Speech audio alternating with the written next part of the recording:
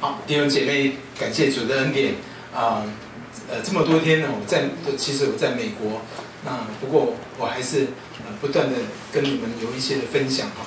那今天回到回到现场了哈，那呃充满着感恩的心啊，今天看见大家还是呃这个那么热切的来到上上帝的面前，你知道，上帝重重视的就是我们这一颗心。那其实我们每个人都有不同的问题。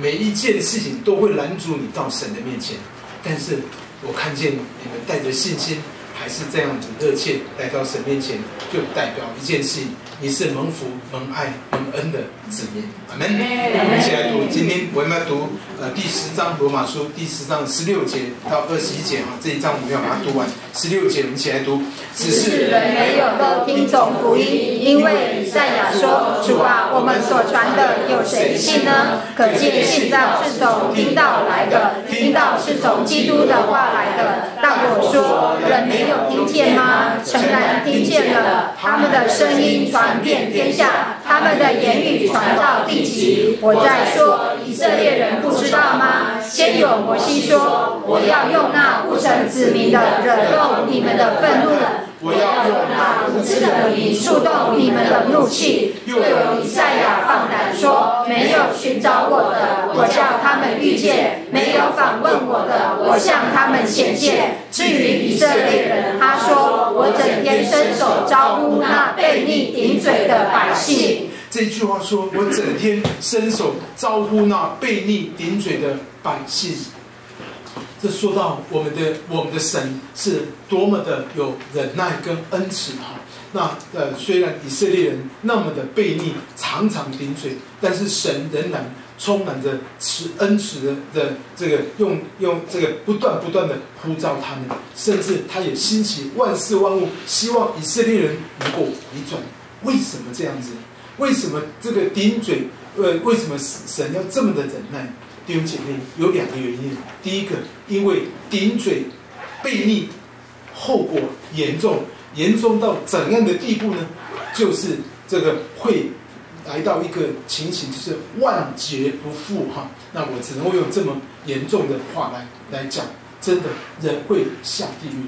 这件事情对上帝是对上帝。爱世人的心是一个非常大的的的啊的问题啊，所以弟兄姐妹，上帝就不断不断的在那边啊忍耐的在向他们呼召啊，就像亚当，嗯，上帝只对他们说的第一个第一个命令，也是第一个嘱咐，就是叫我们说，园中树上的果子你们都可以吃，但是这一棵分别善树的果子你们不能够吃，因为你们吃的日子必定死。第一个。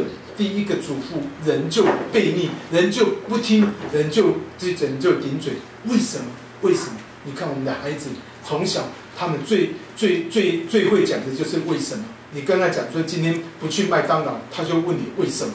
啊，这今天呃，你叫他九点钟上床，他就问你为什么。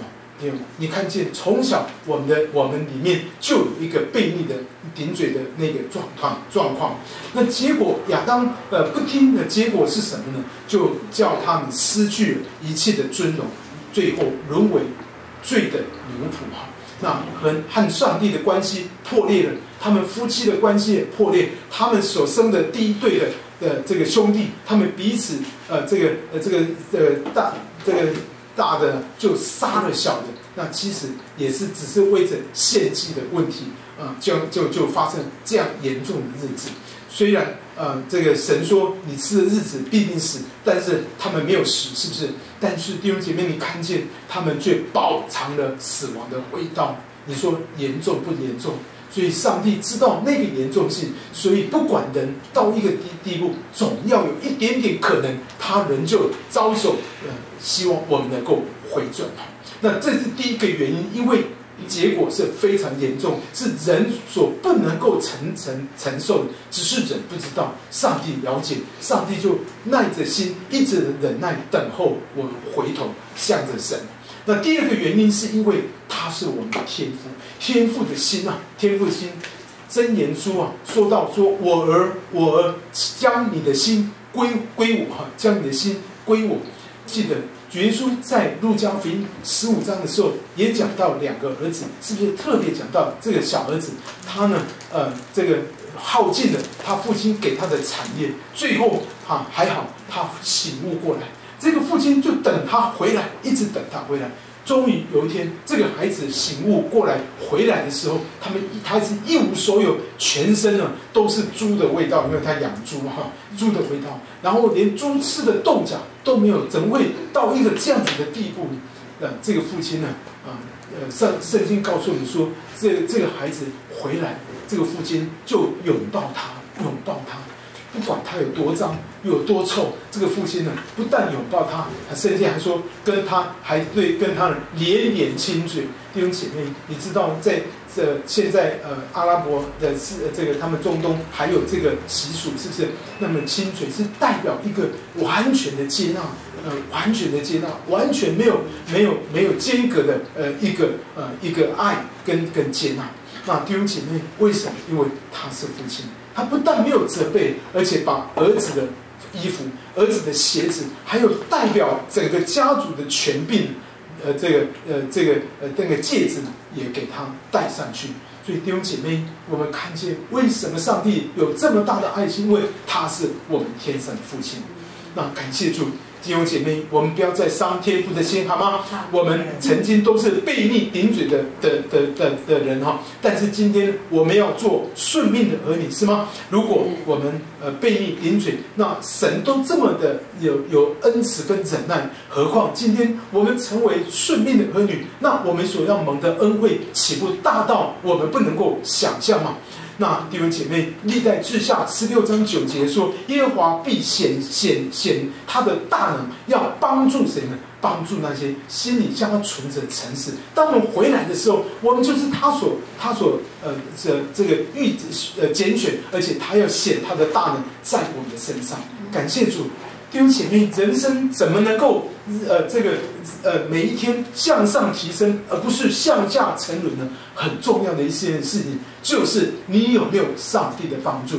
弟兄姐妹，感谢主，当我们顺命的时候，成为顺命的儿女，我们的人生就是往上提升哈。那感谢主，就是美好的事必定要成就，美好的事已经显明。弟兄姐妹，这就是上帝给所有顺命的儿女呃的极大的祝福啊，跟我们的信呃我们的我们的信心哈。那弟兄姐妹，感谢主和可以叫我们可以天天的呃呃赞美，终日的赞美，天天的感谢。感谢哈，那我这次在呃在洛杉矶呃这两个礼拜，我我就在那边服侍两个教会，实在忙得连呃连那个时差都来不及了哈。那那中间呢，有一天呢，我我我还我还被感染了，就就就发烧哈发烧，但是都没有影响呃我的服侍。那感谢神，我一天一天就好了哈，一天就好。那那我们呃这个那五个晚上呢，我跟我的儿子呢。呃，他每一天晚上从呃开车开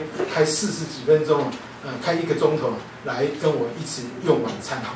那这是我没有想到呃这么好的呃呃的机会，可以跟我的儿子能够一起啊这个享受天伦之乐哈。那那感谢神啊，我就看见上帝给我很多很多的恩惠，在这两个教会的服饰里面，我都看见上帝给我的恩典啊。那我能够帮助这两个教会。